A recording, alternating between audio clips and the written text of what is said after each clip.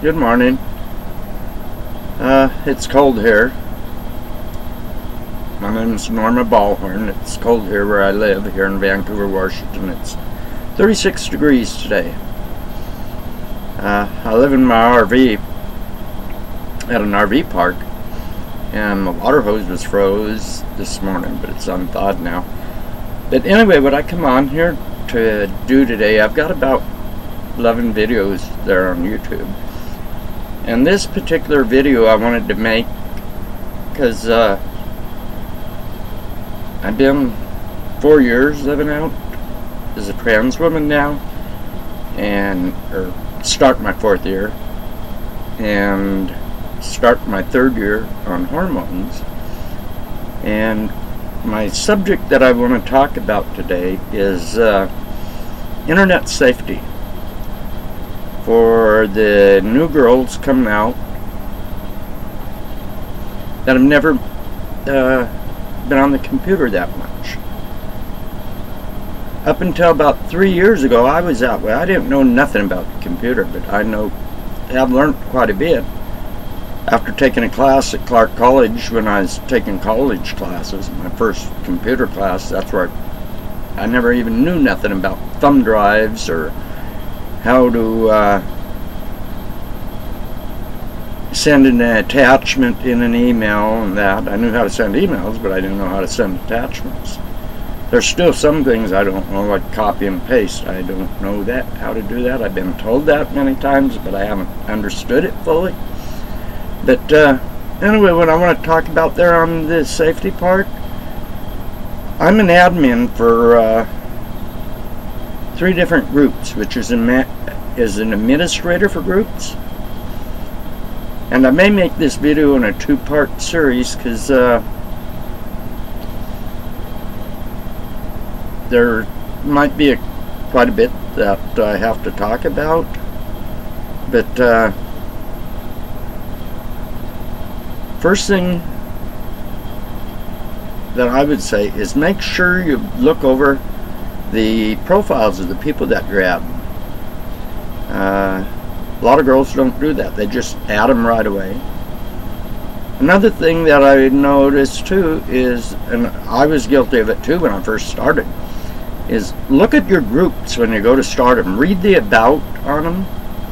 Because there are things in there, like if you block a cert, one of the administrators, and uh, we'll go into that too about blocking anybody or about administrators. Um, when you go to a group, you take and you can go to your uh,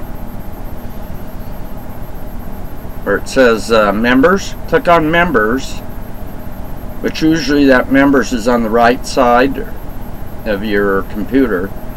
And after you click on members, over on the left side of your computer comes up a little square box and it says members and if you click it again down below, it says admins. And you can go on there and it usually tells you who your admins are.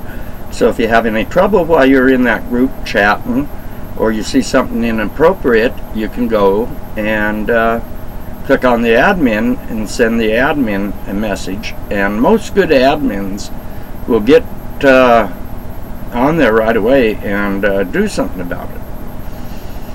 Uh, another thing to watch when you're looking at profiles.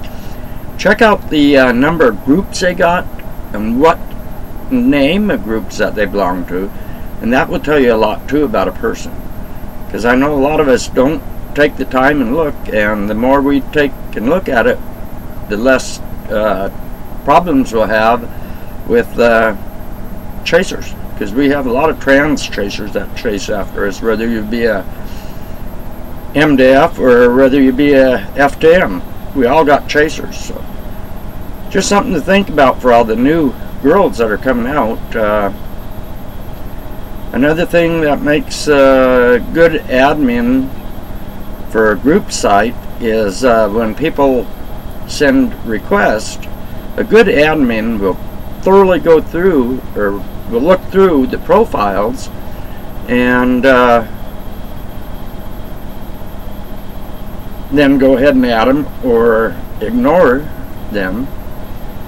And uh, after you add them, what's good to do if you're an admin is there's a button you click on uh, over by members that says new.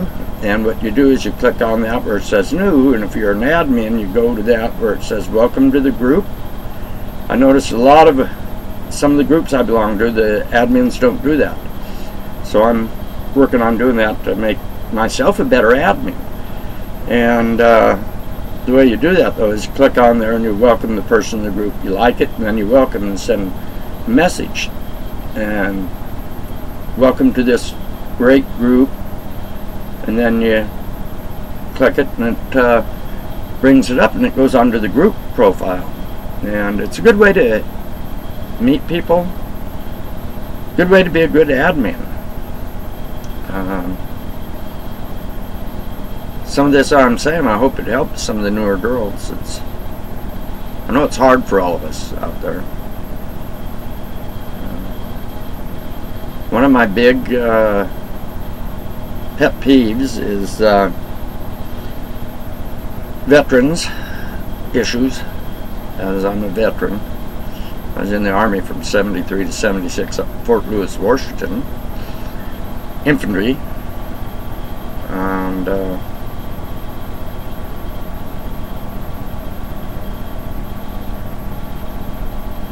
I need writing cue cards.